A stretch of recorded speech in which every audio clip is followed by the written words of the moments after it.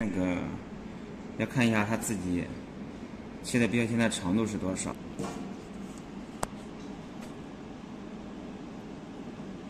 一百，比如说这个是一百毫米，嗯，然后在机器里面设置一百长，长度。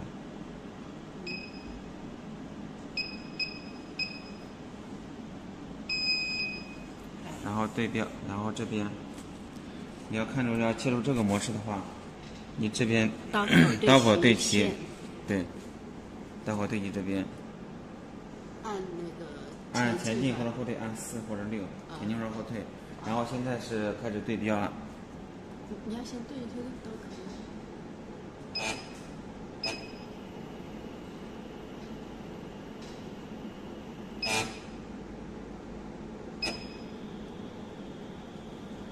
然后假如你要切成成这样子，真没事。啊，就这样。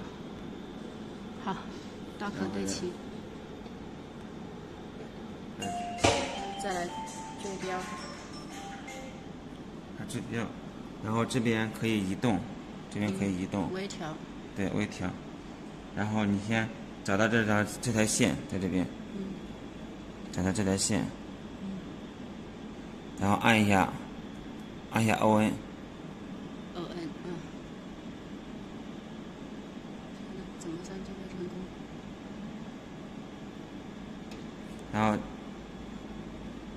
前后左右移动一下，前后前后移动一下。嗯，如果如果它遇到空白的地方，它就会是这个灯它就灭，灭掉啊。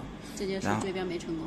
这这就是追标成功了啊啊！这就是我们在测试嘛，然后它如果到这个刚才我们设的感应线这边，嗯，它会亮，就说明追追标成标成功了。那现在我们可以测试一下，嗯，要按一下 start，开始。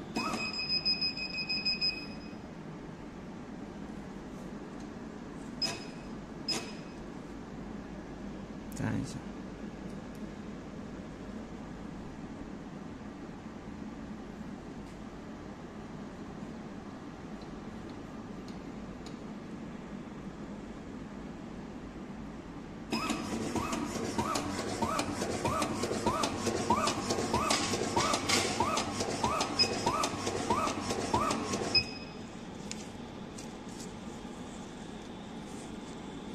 再一次的切的这个位置的，